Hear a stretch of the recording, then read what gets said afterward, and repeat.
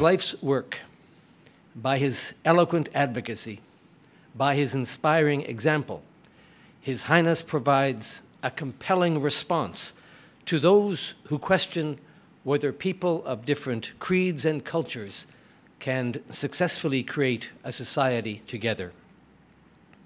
Using his own faith as a point of departure, His Highness speaks always directly to the goodness in all people and shows through both his words and his actions that at root, the highest aspirations of all faiths eventually meet, and that there are no divisions among us if our desire truly is to create a better world. His work has bettered the lives of people and communities around the world. The Aga Khan Development Network is an umbrella organization of agencies which are mandated to effect positive change in a staggering number of sectors, be it the environment, healthcare, education, microfinance, private sector enterprise, rural development, and the revitalization of historic cities. His Highness has established the International Aga Khan University, with its Faculty of Health Sciences and teaching hospitals based in Karachi, as well as the University of Central Asia and the Aga Khan Academic Program. Aujourd'hui, à l'Université d'Ottawa, un établissement qui encourage ses étudiants à adopter une culture d'entraide, nous sommes particulièrement heureux de rendre honneur à un visionnaire et un philanthrope qui incarne un idéal d'engagement mondial et communautaire.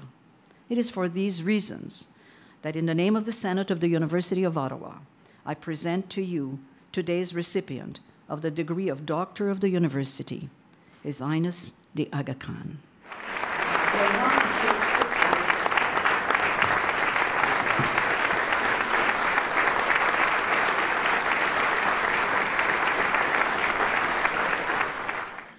Je voudrais aussi dire toute ma gratitude pour l'excellence de la coopération dont le réseau Agacan pour le développement a bénéficié de la part des membres de votre université, de votre ville et de votre pays.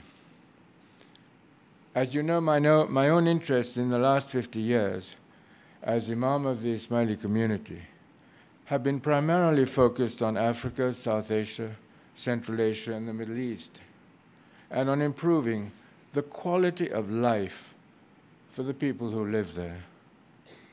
The more I think about this matter, the more I'm persuaded that one of the critical barriers to progress is the way in which governing processes occur. The so called Arab Spring has brought special attention to this challenge, illustrating that it is easier to rally people in opposition to a particular government than to forge agreement about new governing processes. But while this pattern has recently been more dramatically evident, it has been a reality for a very, very long time.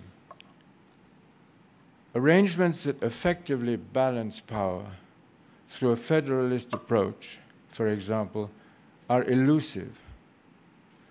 What is critical is that constitutional arrangements should respect inherited traditions, ensure fairness to minority communities, respond to rural as well as urban concerns, and underwrite equitable opportunity for a better life.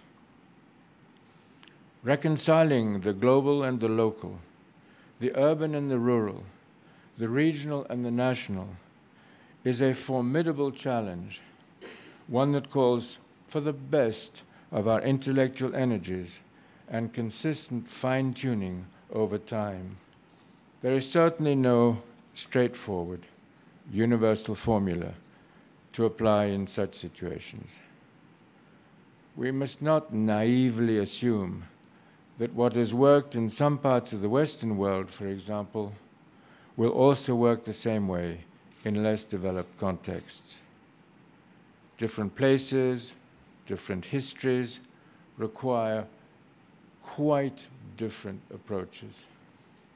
I know too that this university's global effectiveness is reinforced by the high regard in which Canada is held as a valued international partner.